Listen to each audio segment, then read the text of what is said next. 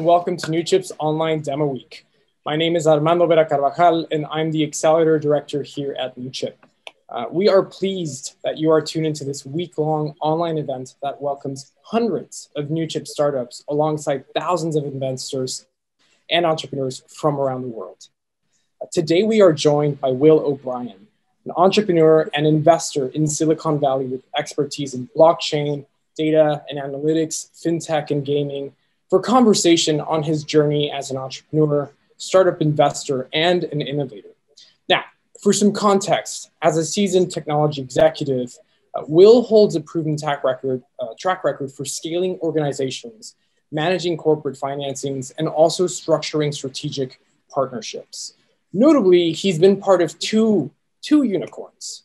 Uh, the first was Big Fish Games, a casual uh, gaming publisher where Will was Senior Vice President of Corporate and Business Developments from 2010 to 2013. The second was BitGo, a leading cryptocurrency security and custody company. Um, Will was co founder and CEO from 2013 to 2015, and BitGo was acquired last week for $1.2 billion. Uh, Will is also an active investor and advisor to nearly 70 early stage startups uh, and blockchain projects in the US, Europe, and in South Korea. Uh, he's also an LP and an advisor in blockchain capital uh, and an advisor to other venture firms, including, including uh, Fabric.vc, Gravity Group, and HUD Capital. Uh, most recently, Will is a co-founder and CEO of a new venture called NFT Oasis, uh, which has launched an immersive VR experience for the NFT community. Uh, Will also holds a, a BA in computer science from Harvard University and an MBA from MIT Sloan School of Management. Will, thank you so much for joining us today here at NewChip's Online Demo Week. Uh, I can imagine you're incredibly busy, but it's such a pleasure to have you here as our guest. Pleasure to be here. Thank you, Armando. Excellent. So to kick off the conversation, I, I'd love to talk about your entrepreneurial path and, and learn about what it's been like. You know, going back a few years in time, what inspired you to pursue the entrepreneurial path in the first place? Well, I think a lot of people will tell a story of when they were a kid creating a, lawn mowing business or a car wash or and and that that's true. I, I, had started trying to find ways to make money and and the internet was just coming online when I was teenager. I started trying to figure out ways to to do something with that. But you know, it was it was really actually having the experience of having been a technologist, uh, studying computer science at Harvard, and then spending the first part of my career in fintech, where I was doing amazing projects. I was building real time trading systems for the banks and the buy side. And when my company sold to Accenture in 2006, I, I, you know, we sold the company and I made something like $15,000 in stock options. And it was that moment I said, well, what the heck is a cap table? Never heard of that before. And so I, I then applied to MIT Business School, MIT Sloan, and went to business school with the intention of figuring out where my blind spots were and to come out of school at graduation as an entrepreneur with the skills and the network and, and the ideas to do that. So in 2008, I started building businesses um, and started looking at businesses in consumer internet, payments. Uh, I found my way towards social games and the gaming revolution in, in that period of time, right after Facebook launched its platform. And it, it, I found that building companies and building products was a very creative pursuit. Um, I'm also a musician, um, always been a very creative and, you know, a lot of creative hobbies. I, I'm an improvisational piano player. I, you know, love thinking about things in systems thinking, very abstract fashion. And and so the opportunity to apply my, my technical skills with that kind of creativity in entrepreneurship was kind of an instant hit for me and something that I really wanted to pursue. So over the course of my career from, from then on, I started building first within companies, new businesses, and trying to pioneer innovation from within. And then, and then ultimately took on uh, the CEO role and new, you know, startup role and co-founder role and several times, which several of them have been very good success. And so I like to pay that back now a lot with, you know, mentoring and angel investing and advising young startups and uh, people who have passion for the problem of what they're trying to solve and maybe could use a little help on to get through the uh, the venture system, the go to market, and and ultimately how to make your company successful. That's incredible, and you know, just a tremendous trajectory that you've had from from an earlier age up until now, and it's surprising that you still have enough time for for all these awesome hobbies, which I'm very interested in. Um, you know, going back to some of those earliest uh, ventures, like the one you mentioned with Accenture that you sold, what were some of the biggest misconceptions that you had about entrepreneur, entrepreneurship back in those days? Well, I think that um, business school is kind of a kind of a it's a great place to be around other people with great ideas, but you know the true learning is it's a little business school can guide you down a path that's a little bit too naturally academic or formulaic.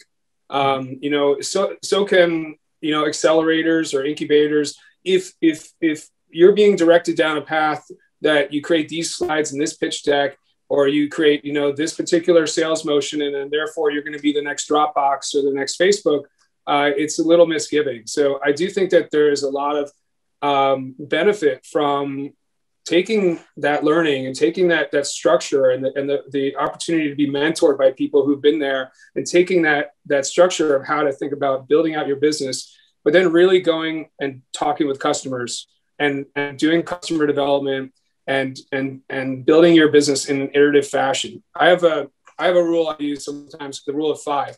Can you find five customers or five examples can you find 50 can you find 500 and each time that you level that up there should be more of a homogeneity, more of a consistency, repeatability in what you do. The first time you're looking for customers, you've got a new product and you might find eight different use cases or eight different examples. But if you're going to try to then build 80 different ones, your cost is going to be upside down and you're not going to be able to really build a, a, growth business. So I think that's one of the that's one of the things that comes from experience or comes from bringing people with experience into your company. And that wasn't something I knew when I first started a business. My first true tech startup was in 2008, graduating from business school. And I was offered an opportunity as an EIR at Highland Capital in, in Silicon Valley. And I was building a consumer internet business. I launched at TechCrunch 50. And the next week, uh, Lehman Brothers went under and the financial crisis took hold. So no one wanted to invest in a first time founder into the financial crisis. And all of my ideas that were on paper or in my head, um, because I hadn't quite yet really done the customer development and really proven out that repeatability in that market, in that financing market, it was that much more difficult. So in that case, I made the decision to figure out a way to package up the technology I built, which was good, and sell that so I could move on to other ventures. Um, so now when I build companies or now when I invest in companies, I'm looking for more than just wouldn't it be great if something could be? But seeing people who can actually prove that it is great for the customer. It's so cheap now to build a website, to build an e-commerce system, to build a mobile app. I mean, it is so cheap compared to 10 years ago, compared to 25 years ago, that you should be able to prove some repeatability and consistency in your initial business. Right, and especially to drive scale, uh, the kind of scale that investors want to see. Um, you know, pivoting this a little bit to, to your experience as an investor, right? On top of all, your, all of your direct startup experience, you're also an active investor and an advisor to uh, over 70 early stage startups. It's a big commitment, right? So tying that to what you just mentioned, what do you look for in a startup when when you're evaluating a potential investment? And you know that could be at the earliest stage of it. Uh, fundamentally, I usually ask two questions. One is, what is your origin story? and two is what is what does this look like when you have achieved scale and i ask these questions uh, in that kind of abstract fashion on purpose because it the way that somebody anchors their response really tells me a lot about what they care about what they think about their framing so the origin story question is really like have you been in the trenches and experienced the pain right if you if you're building a business in fashion and you've never like even done anything in fashion, then that's one of those wouldn't it be great if concepts. Or if you're if you're yeah. trying to um, disrupt the music industry, uh, blockchain or something, and you have no idea how the power dynamics work within the within the music industry, it's never going to get started. So, what was the pain that you experienced And did you start solving that pain on your own uh, and realize that this could scale, right? Uh, example, eBay, right? Pierre Omidyar started eBay as an auction site on the side while he was working somewhere. And it wasn't until it was like really humming that he left, raised $11 million and never spent a dime. And it became, you know, obviously a massive company. So the origin story is important to me to, to understand whether people have really gotten to the point of clarity about the problem and uh, even before the solution. And then the, the question about what does this look like for you when you've achieved scale? Um, I like to see what people answer to see what they think scale is. Do they see it as market share? Do they see it as revenue, profit? Do they see it as um, you know a, a, a competitive uh, ocean of, of, of other businesses, or do they see this as blue ocean? Do they see this as you know an abundant model that's connecting other partners and other ecosystems, or is it a winner take all? Um, and do they think of scale like a billion dollars in market, a billion dollars in revenue, or much bigger? So you know, you, you I think you know when I when I angel invest uh, or advise, that's my first filter on whether people can under you know really jump out. And then after that, I do look for a partnership. I look for um, product oriented, technological oriented entrepreneurs who probably just have some blind spots around well how do i how do i raise money right? How do i go to market? How do i deal with the press? Uh, what happens when somebody comes and asks you know they want to meet with me about m&a what do i do then? Those kind of those kind of inflection points in the company uh, i'm i've been very good at and i've had a lot of experience in. And when an entrepreneur that i am working with texts me or calls me and says i'm about to go into this meeting or here i got this problem or i want to go meet find somebody at apple or google you know, in like one text message or email or phone call, I can typically help them accelerate six to 12 months that they would otherwise be trying to figure out that path. So, and that makes me really happy to see good ideas and good people move faster towards innovation. That's really fascinating. And I want to say that's the ideal type of investor that, that entrepreneurs should be seeking, right? One that actually brings that partnership and that perspective to the relationship. Because at the end of the day, a startup investing is a long-term play, right? It's not a get in, get out next week. It's a we're here for the next five, seven, ten years, and you need that true partner who who's in it to help you through it all. Um, what's your perspective on, on the most common mistake that entrepreneurs make when they're fundraising? Uh, well, let's see. Um, I touched a little bit on you know following somebody else's charted course, right? I think that's that's dangerous. I think when it comes to you know venture and and and um, you know pitching venture, I think if done poorly, it can be a very long road that exhausts the founders and the companies because venture capitalists have the the luxury to kind of slow play it and wait. Um, and so I think it's very important to always create urgency and create a clock for a fundraising cycle. I mean, I often tell mm-hmm. startups to say, pick a date like we're closing this round on July 1st. I just keep saying that. It's a classic, like it's a classic sales technique. You know, it's just keep driving everybody towards this date. And instead of asking for uh, startup for investors to invest, go meet with them and tell them what you're doing. Have an informational meeting first. Um, get them excited. Get them to see you as an expert in the domain that they want to learn more about. If you're the absolute expert in NFTs or AI for pharmaceuticals. Well, share that with them. You're not giving away your company by sharing information. You're building up your personal brand. Augment that with some published thought leadership, right? Bring great people around the table. And then ask this question to investors say, we're closing on July 1st, thereabouts, we're raising something. We haven't determined exactly what we're raising yet, but we're looking at this round.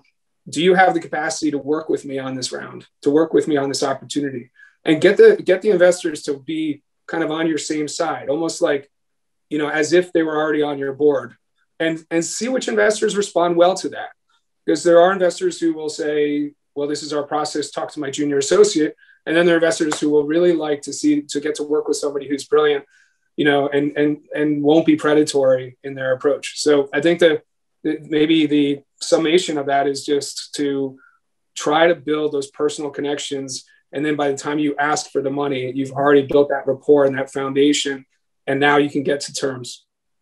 Yeah, no, I, I 100% agree. That's something that we really drive here at NewChip.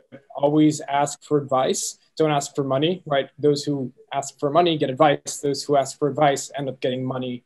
Uh, so very, very much in line with that. Staying on the subject of, of investment, um, pivoting a little bit away from early stage fundraising and investment, a little bit to more the exit side of things. You were recently a director uh, on the board of the Netfin Acquisition Corporation, which is a SPAC uh, focused on targeting fintech businesses. SPAC, you know, that's a that's a four-letter word that has become all the hype this year in 2021, uh, not just across the investment uh, ecosystem, but also the startup world. Uh, and it also brings about some ideas for the regulatory bureaus as they start to, to grapple with it. Uh, we've all heard of them. Many people understand them. Some sort of get what they do, but some people do, they just don't know what a SPAC is. So, in layman's terms, can you explain to you know the entrepreneurial audience what are SPACs and why do they seem to matter so much right now? Right.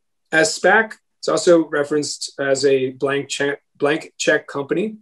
Uh, and what it is, it, it's a public vehicle. In our case, we did an IPO about 253 million on NASDAQ. So it's publicly listed on NASDAQ. And then the company that raises that capital has about 18 months to close a business transaction. In the earlier stage, some people have referred to this as a search fund with private equity, but this is a public equity instrument. And the institutions that invest in this, investors that invest in this, have the option to go through with the acquisition when presented, or the option to take their money back. So it's a very it's a low risk, no risk to the institutional investors. The, the, team that puts the SPAC together has a, basically a blank check to go find a company of a certain profile and present a business case for making an acquisition. So they've become popular because they they're really an interesting vehicle to, to fit kind of a wedge in a in the market that's been missing. Uh, so you think about the life cycle of investment from seed financing all the way through IPO. The IPO window has gotten a lot longer because of Sarbanes-Oxley and because both venture investors and entrepreneurs just want to stay private. There's not a lot of incentive to go public if you don't have to. They're forcing functions to go public, but a lot of it's you know there was the heyday of IPOs, and then recently, you know, founders and and management teams and investors would kind of rather stay private unless they can go public uh, easily, you know, effectively and get good liquidity. So you now you've had kind of growth funds, right? The Series G's and everybody else, and then you have these IPOs where companies are getting bigger and bigger and bigger at IPO.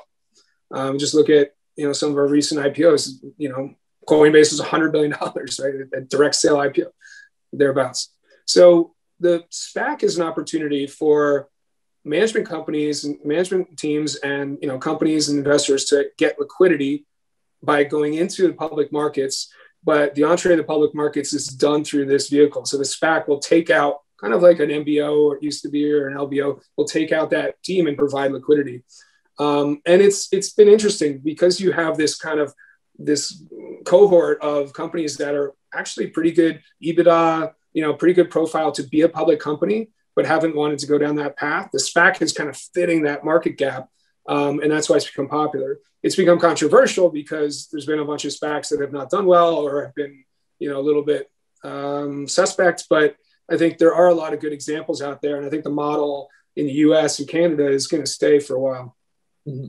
Yeah, no, totally agree. And so, do you think that um, as some of the later stage startups achieve, you know, stronger performance and, like you mentioned, just more streamlined EBITDAs, you think like SPACs will become more of the, the default uh, liquidation option, or do you think they're still going to pursue IPOs, or are IPOs sort of falling out of fashion in a longer term trend? I think we'll have all of the above. I, the the the having been through cycles where you know company where we're looking at an IPO, ultimately do a trade sale. Um, you know nowadays you have SPAC as an option. You're really feeling out the market, right? You can have growth capital, direct sale, SPAC, or um, uh, excuse me, or uh, IPO.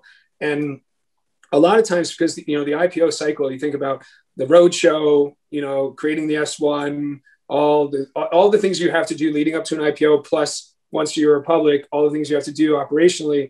Um, that's a lot of work. And if you're in a market, for example, let's say the gaming market that goes through, you know, fluctuations, ebbs and flows, and you're doing all the work to prepare for an IPO, and then the IPO market falls out, or like a few years ago, the SaaS market, all the multiples came crashing down. Well, you don't really want to like do continue to do all that work and then have a bad a bad coming out in, in the IPO. So that's where SPAC is an option, and and obviously otherwise trade sale growth capital is an option. I think in all cases, once you get to a company, uh, a scale of a company, you want to be hitting the performance metrics, right? You want to be you want to be throwing off EBITDA. You want to be looking at ways you can use M and A uh, to to consolidate the market and to become a market leader. Um, and the public currency gives you a lot of opportunity for that. If you're one of the earlier within a market to have a public currency, you can start buying up other other players in your market. That's a great strategic move. And so if a SPAC gives you the opportunity to do that in a couple of months rather than nine months, that's interesting. Um, but a, a leader like Coinbase or Facebook or Google, I mean, they're going to go public because they are the leader, right? That's still advantageous to them. Right, right. Tying this sort of just to, to the general concept of exits for startups, um, and you having been a part of many exits yourself, what do you think most startup founders get wrong about startup exits?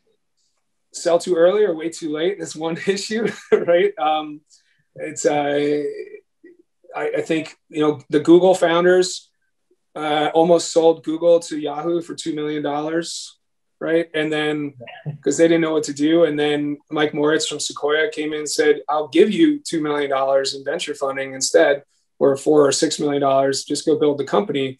So you know, there's every company goes through these these troughs of just difficult times. There's a lot of mental health, a lot of stress on families, and so selling too early, if you really have a big tailwind behind you in the market and you really have something that is durable, that can be a mistake. But waiting too late can also be a mistake. You know, I tell a lot of my entrepreneurs that I work with that you're not the CEO of this company. You are a serial entrepreneur. This one may succeed or fail, uh, but you are learning all the way and you are continuing to build. And so don't look at each company as a the end all be all transaction. You know, in, in my case, I've continued to grow my career and now have many different projects and companies I'm involved in. And I'm founder CEO of a new company that I launched this year and, you know, sold other companies last year. This is all part of being, uh, having a network effect around myself, having a lot of experience. Um, I could, I could look at peers of mine that I graduated business school with that are still at or running the same company uh, 13 years later. So, you know, that's good for them if that's their choice, but it doesn't, it does, you can be a serial entrepreneur even with failures. And you can, when you hit it out of the park, you're to, you're to know the timing's right. So I think exits um, uh, should be timed right. And also should not be so much of a distraction, right? Like it's, it's alluring to go take a meeting with Google's M&A team when you have, you know, $750,000 in revenue and no profit. And you know, but they're looking at you as an acquihire. They're not looking at you as buying you for $300 million. So be mindful of what kind of distraction it can be to take these meetings and approach it instead through partnership or through information or something like that. Like don't take the meeting with the M&A guy. Take the meeting with the head of the products, right? Or the head of the business. Because ultimately they're going to be the person that's going to decide and motivate the price for you. The M&A team is going to come in and do that transaction. So I think more entrepreneurs can get savvy with who and who to talk to and when. It'll it'll uh, reduce a lot of churn inside their team, mental churn. Yeah, I mean that's really really good insight, and I totally agree. I think uh, it's all about the right timing, right, and the right the right exit to to get the best outcome. But also linking it to what you mentioned, uh, entrepreneurship, if you're a true entrepreneur, you'll be doing this many times over. And if one fails, you move on to the next one. If one succeeds, you move on to the next one, hopefully. And, and that's a very compelling path. Um, pivoting away from sort of the, the startup scene and just general investing, uh, you are a recognized uh, thought leader and trailblazer in the blockchain and cryptocurrency space. Uh, you were previously the co founder and CEO of BitGo, which I mentioned is a leading Bitcoin security firm uh, you're also recognized as a thought leader in the blockchain industry, and you've helped uh, to grow positive awareness of crypto through public speaking, partnerships with incumbents, and also policy work. Um, there's obviously been a lot of movement and talk about crypto, Bitcoin, etc. over the past year and especially this year, right, with some indication of institutional movement into this space. Um, you know, in, in, light of some of the recent hype, right, and, and growth that we've seen for a lot of the, the cryptocurrencies and blockchains, especially Elon Musk making all these comments about pulling out of Tesla, uh, Bitcoin out of Tesla. You know, what are your thoughts on what's currently go- going on and where we're headed? Well, I found I found Bitcoin in 2012. I read the white paper and immediately saw that this is uh, the biggest opportunity in mankind for financial freedom, financial inclusion, and a rebuild of the entire financial ecosystem. And so now, when you say, you know, financial institutions are taking note, um, that is, you know, that's uh, what nine years later from my reading, 13 years from Satoshi's white paper and many decades of other people trying to get towards this cryptographic cryptography uh, norm. So it's it's been an interesting ride to see. I think there was a quote by Gandhi like first they laugh at you, then they um, you know then they try to destroy you, and then eventually they they follow you or accept you. I just butchered that quote, but but the point being, I went through a lot of the mockery you know phase. I was talking to a lot of these institutions back then and they just said we're you know we don't take this seriously um, you had people like jamie dimon outwardly saying he'll fire anybody at jp morgan that is doing anything in bitcoin meanwhile they had a, a prop desk in, Bitcoin, in crypto trading that they didn't tell anybody about so it, you know there's there's it, it's it's funny the attention being paid to the cult of personality right now with uh, the meme coins and whatever institutions are doing because this entire Bitcoin concept was to move away from that. It was to give the power to the people, is to decentralize um, decision making, is to be able to not have third party decision makers and and counterparties and middlemen. So I, think it's natural that people are seeing the growth in value and trying to get their piece of the pie or claim their stake. Um, but the long arc towards decentralization which is passion for me and something I worked on a lot and something I, you know, I, am an LP in blockchain capital. They've you know, invested in a hundred something companies that are leaders in this decentralized finance movement. It's very important that we always remember that that's the purpose. It's not just to give Wall Street a better database. That's not the purpose of blockchain. And so I've, you know, I've gone around the world, South Korea, um, and you know, Europe and US, looking for uh, king potential kings in a category.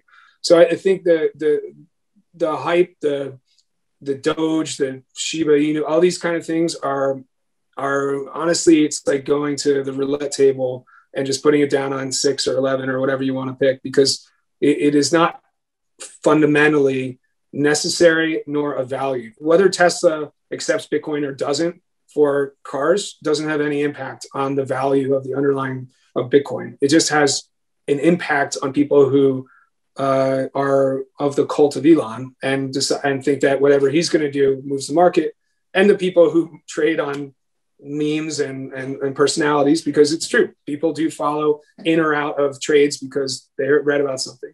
So we're at an interesting point, I say, with a lot of noise to signal right now that there is foundational technology that's been built that'll continue to be amazing and will emerge. And these hype cycles will come and go been through seven of them, I think, since 2012 myself.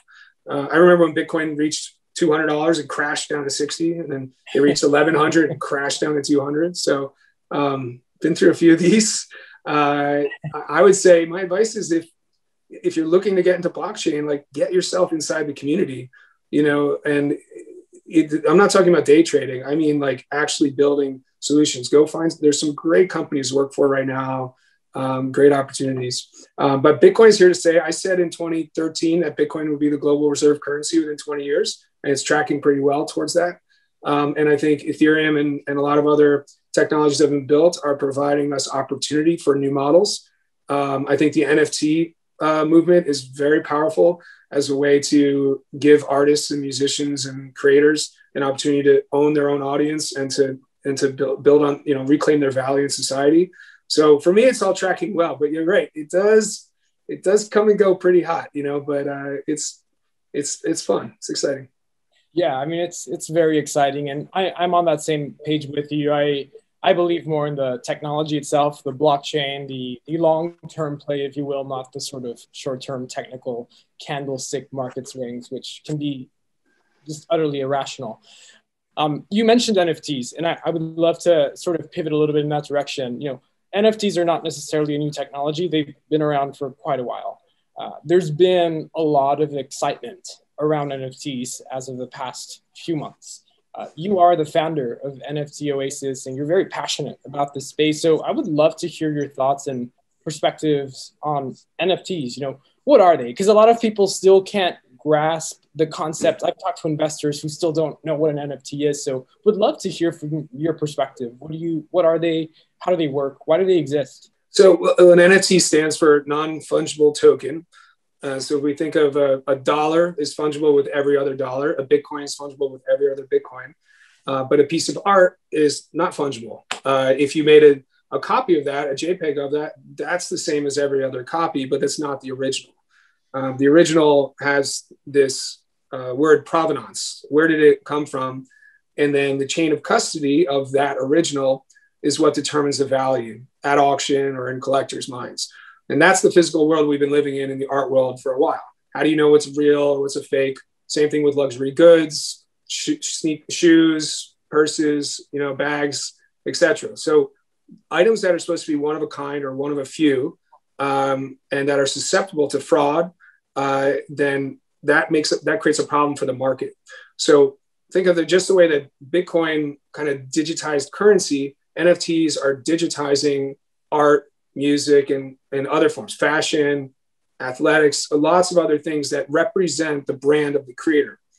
Uh, and if, if you are the holder of an NFT because you're using your you know ethereum wallet to buy an nft on one of these marketplaces you can now cryptographically prove that you bought it and you own it and when you go sell it the smart contract that's in there it can be predetermined how much to give back to the original creator how much to give to other parties so NFT ecosystem that's emerging is going to allow creators to establish the provenance, the authenticity of their work up front. And as it passes through and gets sold through the market and gets used through the market, all the economic activity on top of that art, on top of that creation, can be appropriately distributed. So what's this mean? This means that we're going to start to see massive tectonic shifts in in the ecosystem. The the, the predatory uh, models that artists have experienced for decades with music labels, you know, auction houses, middlemen, all sorts of things where, where artists, you know, they move to streaming and they can't make any money on streaming. They move, creators move to YouTube, can't make money on YouTube. All of these systems are going to get ripped apart in a very substantial way. And so that's why I'm passionate about it because I'm personally a musician. I, I released my, my first solo improvisational jazz album or improvisational piano album in January. Um, I write music every day. I, um, I, I support, you know, Burning Man, the arts. Um, and I, I really want to like at this stage of my career, be working on something that benefits the world. And I think when we look at where we are after this last year, last several years of the social dilemma, last year in quarantine, there's this toxicity in the human spirit, right? And how do we get out of that? It's the artists and musicians that bring us through. So it's time to compensate those artists and musicians. It's time to forward invest in a new renaissance that we want to see. And the NFT movement, in combination with other effects like the clubhouse effect that's breaking down walls of communication, is now giving us an opportunity to like reshuffle the deck and build the future we want to live in. Yeah, that, that's powerful. And I um I, I also paint. I've been painting for a lot of years, so I can relate to sort of the the need, right, to heal the world through all this tension with the creative arts. Um, now, uh, I'd love to get your perspective uh, from NFT Oasis, right? You've launched this new startup. You know, what are you doing with it? Where is it now? Where is it headed? Right. So I'm the co-founder and CEO of NFT Oasis, and it is a uh, we're using VR as a new opportunity for artists and musicians to have a stage to showcase what they're doing as they embrace this NFT movement, bringing life to this movement. I I'd like to roll a, a, brief video now that'll show off the NFT Oasis. Yeah, absolutely. Let's watch it.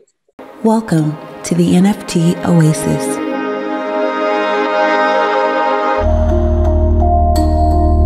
The Oasis is a virtual environment designed for the NFT community. A utopian vision that brings the revolutionary power of the NFT movement to life in fully immersive VR.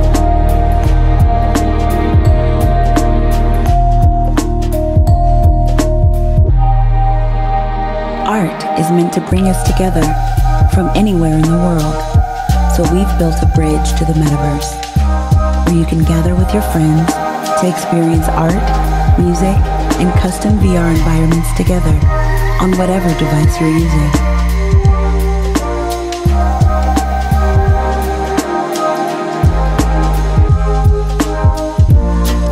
Creators can hold gallery exhibitions and panels.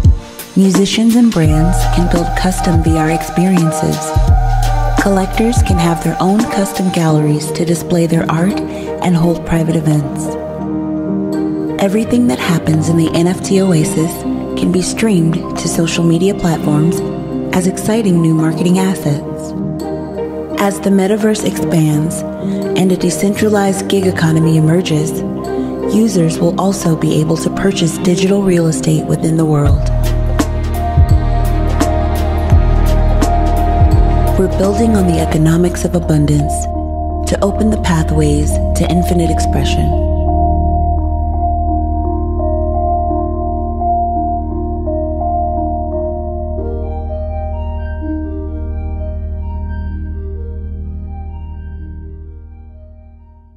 Wow, I, that blew my mind. I uh, I got very very excited because I mentioned that I I paint. I've been painting abstract art for a while, and seeing just seeing this right. You're creating these virtual reality, super immersive galleries, right? Um, I, I see so much potential, right, with with this for digital art artists of all like music, right? Um, what what got you to to launch this in the first place? it's pretty new. We actually opened uh, in early April. Uh, came up with the idea in March, uh, and we've been live. And we, I've got four four of us as co-founders, um, and got a network of developers and and artists and, and people involved. We've already hosted major artists like Imogen Heap, who is a multi Grammy winner. Greg Spero, who's an incredible jazz pianist who toured with Halsey uh, for four years, mentor Herbie Hancock. We have um, acts coming out of Korea, an artist tonight, actually. Well, I should say, uh, it will, by the time this is filmed, uh, tonight after recording this interview, we have uh, the first ever song written and produced by AI out of Korea that's performed live by a Korean K-pop star in VR. Uh, so we've been we've been bringing communities together, music, arts, sports, and what inspired me was this realization of you know it's an amalgamation of uh, uh, of all the things I've done in my life as a musician, as a dad, as an entrepreneur, as, a, as an investor.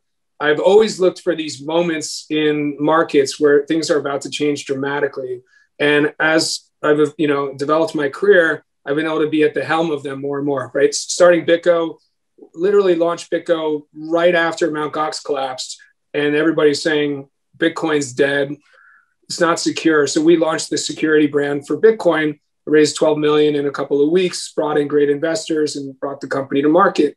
Um, you know, in the in the gaming days, I saw the opportunity in social gaming, mobile gaming, casino, social casino, uh, cloud gaming. So I always am, got my ear. Part of my strategy as a as an advisor, LP, as an investor is to really find the people who are pushing the envelope, and then think about how can I support, institutionalize that. In this case, with the NFT, obviously there's a lot of NFT movements, and there's so much energy on Clubhouse right now. If you go to Clubhouse, there's all these NFT rooms, and people are spending hours upon hours sharing tips. But what are they doing? They're talking to each other, no vid- no visuals, just voice. It's like a ham radio network, you know. And then when there's a drop, an NFT drop, people are selling something. Well, there's a website that goes along with it. I mean, it feels like something off of eBay, like a very flat website you're a painter, right? I'm a musician. Does that really does that really represent the value of what we're doing? And so then you have big items like Beeple selling a JPEG for $69 million. Why is a JPEG worth $69 million? You go back to the story. He created 5,000 consecutive days of visual art and for the first time launched all of those in one as an NFT. So that's historic. There's something historic happening there. When Justin Blau launched his sold his albums for 11.7 million dollars as an NFT, there was something historic happening there. So I think we're on the precipice of historical change. And the best way to understand that change is if you can immerse yourself in it within a community that's connected directly to the artist. And uh, because last year I had um, partnered with someone to help bring Burning Man to VR, we found this platform. It's called AltSpace, hosted by Microsoft. And it's a great platform to build on. Uh, we built Burning Man in VR. We had the, the community build 200 virtual worlds in a matter of a month. And so I saw this technological opportunity to harness the potential energy of the community and then give them the room to run and innovate. And so it was it was apparent to me to launch something. I found some great collaborators, launched the NFT Oasis, and now we're up and running and scaling very quickly. That's incredible. I, I love the vision, and I can see a lot of potential. And um, I, I, hope to be one of the one of the users on your platform one day to uh, to get on there with with the art. Um, the, think- the, the, key the, the key thing is that it's a, it's it is a tokenization. It's it's a it's a crypto project. It's a it's a blockchain project that the we are launching a social token for a digital gig economy. People who have been furloughed from the hospitality and the entertainment industry can come and work, hang art, be videographers, you know, be moderators, and people who build history and build up these various worlds and communities can accrue value in virtual real estate. So this is a cultural, creator-centric real estate play that's empowered by DeFi, and that is, I think, really beyond what anything is happening in the ecosystem right now. Um, but it's exactly the future I want to see. Well, I, I, just want to kind of, I, I always think videos are, are, more fun to watch than talking about it. Um, so I'm going to share one more video. Imogen Heap, who's an incredible multi Grammy winning artist, came and performed live in the NFT Oasis. We built out the Imogen Heap world. Hundreds of people attended her concert in VR, and she was streaming in from the UK, larger than life, on a stage that we built for her. I think sharing, showing a little of this video will give people inspire imagination of where we're headed.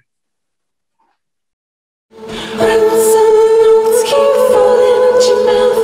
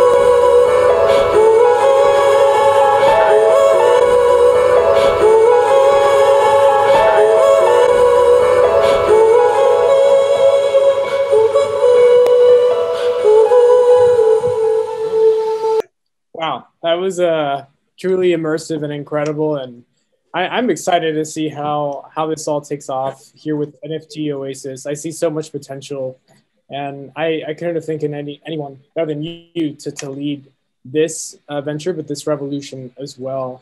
Um, Will, before we, we close out today's conversation, I want wanted to take it just back to, to sort of entrepreneurship at the broadest level. You're obviously a very accomplished entrepreneur and investor you know a lot about this space, about the journey. Um, what actionable advice would you give to entrepreneurs who who truly want to make an impact, who want to change the world in some way, shape, or form? Well, I, I think I, I'll provide a couple of different angles on that. You know, first of all, take care of yourself. Take care of your your mental health, your stress, um, your family.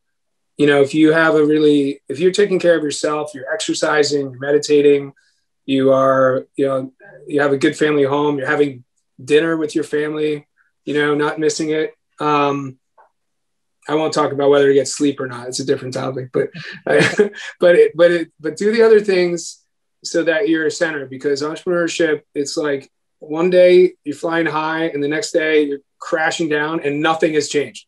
Absolutely no data has changed but for some reason you feel amazing and you feel like garbage the next day so i think that's really important. Uh, the second piece of advice is i would always look for mentors. I would look for people who can be really really specific mentors in particular areas and find a way to have a regular cadence of communication with them. Um, i think that finding somebody who can be a mentor and just getting into a regular pattern of like updating them asynchronously, you know, hit them up on text or telegram, just say, here's something I'm doing. You'll find that the best mentors out there will will pick up intuitively when it's time to step in and help or have a call rather than saying, can we have a call every week or can we meet every week? I mean, it's exhausting to do that, right? Most people um, have a lot of things going on. So be, be proactive, be clear, be cogent in your communication with mentors. Um, and then I think thirdly is, uh, you know, going back to the kind of the 550, 500, that's one scale concept, right? But it is another scale concept I use is radical prioritization. Like, what are the two or three things that I'm working on, and does everything else in the company fall under one of those one of those branches? If it doesn't, then somebody's off the reservation going and doing something that is not really part of the mission. Um, and it's great to reward innovation, but not everybody can be doing that at all times. So the more as a leader that you can communicate, this is what's important to me. As new data comes in, I'm going to revise this. Here's how I'm going to communicate with the team of what we're doing. And here's who needs to be informed. Here's who needs to, you know, actually be responsible for something. So if you can build that organizational infrastructure in your company, um, it's actually more important than culture, to be honest. Culture is honestly sometimes a crutch uh, that because when people haven't figured out how to organize themselves. Um, and then lastly, I would say in this day and age, look at unconventional ways to grow a company. You know, you can have a global workforce through open source technologies. You can hire wherever you want. They don't have to be in the same office. Um, you know, it, there's a lot of different approaches to building teams and to building and to, and to building companies. But it's really important if you're going to be successful as a CEO uh, your job is to set strategy, it is to hire amazing people, and it's to not run out of money. And if you do those three things, then you'll be successful. I love it. That that's uh, excellent advice and wisdom uh, for all the founders uh, who are tuned into this special conversation. Will, thank you so much for giving us some of your time. Again, I know you're incredibly busy. You're just working on so many incredible projects. Thank you for for coming here sharing your time with us. And we can't wait to see you uh, just really keep innovating as you go on these big frontiers with technology. Thank you for being here. Right. Thank you very much. I want to say best of luck to all the founders out there, to all the investors. Be nice to the founders. And, you know, I'm glad that Armando, you and your team are, are helping all these companies, all these projects take flight. It's very important for our world that we continue to further embrace innovation.